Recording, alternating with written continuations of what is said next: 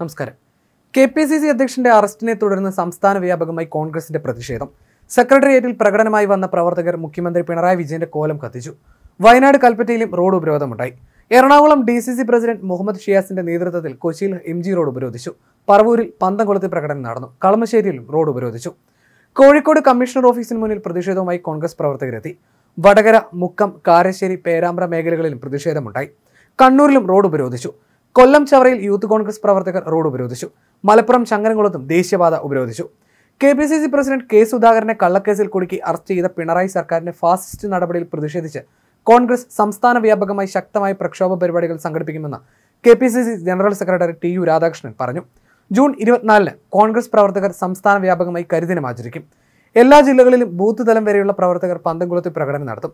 പ്രകടനങ്ങളിൽ പ്രവർത്തകർ പരമാവധി സംയമനം പാലിക്കണമെന്നും ടി യു രാധാകൃഷ്ണൻ പറഞ്ഞു. കെ പി സി സി അധ്യക്ഷൻ കെ സുധാകരനെ കള്ളക്കേസിൽ കുടുക്കി അറസ്റ്റ് ചെയ്തത് രാഷ്ട്രീയ ഗൂഢാലോചനയുടെ ഭാഗമാണ്. കേരളത്തിന്റെ ജനാധിപത്യ ചരിത്രത്തിലെ കറുത്ത ദിനമാണിതെന്നും പ്രതിപക്ഷ നേതാവ് വി ഡി സതീശൻ പ്രതികരിച്ചു. സർക്കാരിനെതിരെ നിരന്തര വിമർശനവും അഴിമതി ആരോപണങ്ങളും ഉന്നയിക്കുന്ന നേതാക്കൾക്കെതിരെ കള്ളക്കേസെടുക്കാനുള്ള നീക്കത്തെ കോൺഗ്രസും യു ഡി എഫും ശക്തമായി ചെറുക്കും ഭീഷണി കൊണ്ടും കള്ളക്കേസ് കൊണ്ടും പ്രതിപക്ഷത്തെ നിശബ്ദരാക്കാമെന്നും കരുതേണ്ട. ഡൽഹിയിൽ നരേന്ദ്രമോദി ചെയ്യുന്നതിന്റെ കാർബൺ കോപ്പിയാണ് കേരളത്തിൽ പിണറായി ചെയ്യുന്നത്. ഭയമാണ് ഈ സർക്കാരിനെ നയിക്കുന്നത്. സർക്കാരിന്റെ അഴിമതിയും ജനവിരുദ്ധതയും ഇനിയും തുറന്നു കാട്ടുക തന്നെ ചെയ്യുമെന്നും അദ്ദേഹം പറഞ്ഞു. കെ സുധാകരനെ അറസ്റ്റ് ചെയ്തത് പാർട്ടി നിർദ്ദേശപ്രകാരമെന്ന് കോൺഗ്രസ് നേതാവ് രമേശ് ചെന്നിത്തല പറഞ്ഞു. കേസെടുത്ത് അറസ്റ്റ് ചെയ്ത നടപടി തികച്ചും രാഷ്ട്രീയ പ്രേരിതമാണ്. പ്രതിപക്ഷ നേതാക്കളെ പിണറായി ഓലപ്പാമ്പ് കാട്ടി വിരട്ടാൻ നോക്കണ്ട. അഴിമതിയിലും കെടുകാര്യസ്ഥതയിലും മുഖം നഷ്ടപ്പെട്ട സർക്കാരും പാർട്ടിയും ജനശ്രദ്ധ തിരിക്കാനുള്ള തന്ത്രത്തിന്റെ ഭാഗമാണ് ഈ നാടകങ്ങളൊക്കെ.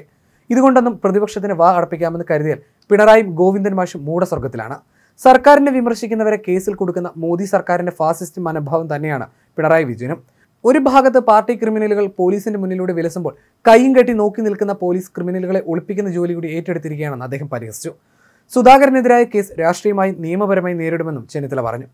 അതേസമയം മോൻസൺ മാവുങ്കലുമായി ബന്ധപ്പെട്ട പുരാവസ്തു സാമ്പത്തിക തട്ടിപ്പ് കേസിൽ ക്രൈംബ്രാഞ്ച് അറസ്റ്റ് ചെയ്ത് ജാമ്യത്തിൽ വിട്ടതിന് പിന്നാലെ വിഷയത്തിൽ പ്രതികരിച്ച കെ പി സി സി അധ്യക്ഷൻ കെ സുധാകരൻ രംഗത്തെത്തി. കേസ് നടക്കട്ടെ എന്നും ജുഡീഷ്യറിൽ വിശ്വാസമുണ്ടെന്നും സുധാകരൻ മാധ്യമപ്രവർത്തകരോട് പറഞ്ഞു. കോടതിയെ വിശ്വാസമുണ്ട്. കേസിന്റെ മെറിറ്റും ഡീമെറിറ്റും കോടതി വിലയിരുത്തട്ടെ. അതിനെ ഉൾക്കൊള്ളാൻ താൻ തയ്യാറാണെന്നും സുധാകരൻ പറഞ്ഞു. ആത്മവിശ്വാസമുണ്ട്. ഈ കേസിൽ തന്നെ ശിക്ഷിക്കാനുള്ള ഒരു തെളിവും പോലീസിന്റെ കൈവശമില്ലെന്നാണ് ചോദ്യം ചെയ്യലിനു ശേഷം മനസ്സിലായത്. ആശങ്കയും ഭയപ്പാടുമില്ല. ഏത് പ്രതിസന്ധിയെ നേരിടും? മോൻസനെ തള്ളാഞ്ഞത് എന്തുകൊണ്ടാണെന്ന ചോദ്യത്തിന് മോൻസന് ആജീവനാന്ത ശിക്ഷ ലഭിച്ചുവെന്നും ഇനി അയാൾക്കെതിരെ എന്താണ് താൻ ചെയ്യേണ്ടതെന്നുമായിരുന്നു സുധാകരന്റെ മറുചോദ്യം. കളമശ്ശേരിയിലെ ക്രൈംബ്രാഞ്ച് ഓഫീസിൽ ഏഴര മണിക്കൂർ നീണ്ട ചോദ്യം ചെയ്യലിനു ശേഷമാണ് സുധാകരന്റെ അറസ്റ്റ് രേഖപ്പെടുത്തിയത്. സുധാകരന്റെ അറസ്റ്റിനെതിരെ ശനി ഞായർ ദിവസങ്ങളിൽ സംസ്ഥാനമാകെ പ്രതിഷേധം സംഘടിപ്പിക്കുമെന്ന് കോൺഗ്രസ് അറിയിച്ചു. മോഹൻസൻ ഒന്നാം പ്രതിയായ കേസിലെ രണ്ടാം പ്രതിയാണ് സുധാകരൻ. കേസിൽ അറസ്റ്റ് വേണ്ടി വന്നാൽ അൻപതിനായിരം രൂപയ്ക്കും തുല്യതുകയ്ക്കുള്ള രണ്ടാളുടെ ഉറപ്പിലും ജാമ്യം അനുവദിക്കാൻ ഹൈക്കോടതി ഉത്തരവിട്ടിരുന്നു. കേസ് അന്വേഷണത്തോട് പൂർണമായി സഹകരിക്കാമെന്ന് സുധാകരൻ ഹൈക്കോടതിയിൽ സത്യവാങ്മൂലം നൽകിയിരുന്നു.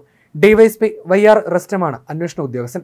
മൂന്നാം പ്രതിയും ഐ ജിയുമായ ജി ലക്ഷ്മണും ഹൈക്കോടതി ഇടക്കാല ജാമ്യം അനുവദിച്ചിട്ടുണ്ടെങ്കിലും എന്ന് ചോദ്യം ചെയ്യണമെന്ന് ക്രൈംബ്രാഞ്ച് തീരുമാനിച്ചിട്ടില്ല. ഗൾഫിലെ രാജകുടുംബത്തിന് വിശേഷപ്പെട്ട പുരാവസ്തുക്കൾ വിറ്റയിനത്തിൽ മോൻസിന് കിട്ടിയ രണ്ട് പോയിന്റ് ആറ് രണ്ട് ലക്ഷം കോടി രൂപ കേന്ദ്ര സർക്കാർ തടഞ്ഞു വെച്ചതായി പരാതിക്കാരെ മോൻസിൻ വിശ്വസിപ്പിച്ചുവെന്നാണ് പരാതിയിൽ പറയുന്നത്. ബാങ്കിൽ കുടുങ്ങിക്കിടക്കുന്ന ഈ തുക പിൻവലിക്കാനുള്ള തടസ്സങ്ങൾ പരിഹരിക്കാനെന്ന് പറഞ്ഞ് മോൻസൺ പലപ്പോഴേ പത്ത് കോടി രൂപ വാങ്ങി. രണ്ടായിരത്തി പതിനെട്ട് നവംബർ ഇരുപത്തിരണ്ടിന് കൊച്ചി കലൂരിലെ മോൻസന്റെ വീട്ടിൽ വെച്ച് സുധാകരൻ ഡൽഹിയിലെ പ്രശ്നങ്ങൾ പരിഹരിക്കാമെന്ന് നേരിട്ട് ഉറപ്പ് നൽകിയെന്നും ഈ വിശ്വാസത്തിലാണ് മോൻസിന് പണം നൽകിയതെന്നുമാണ് പരാതിക്കാരുടെ ആരോപണം.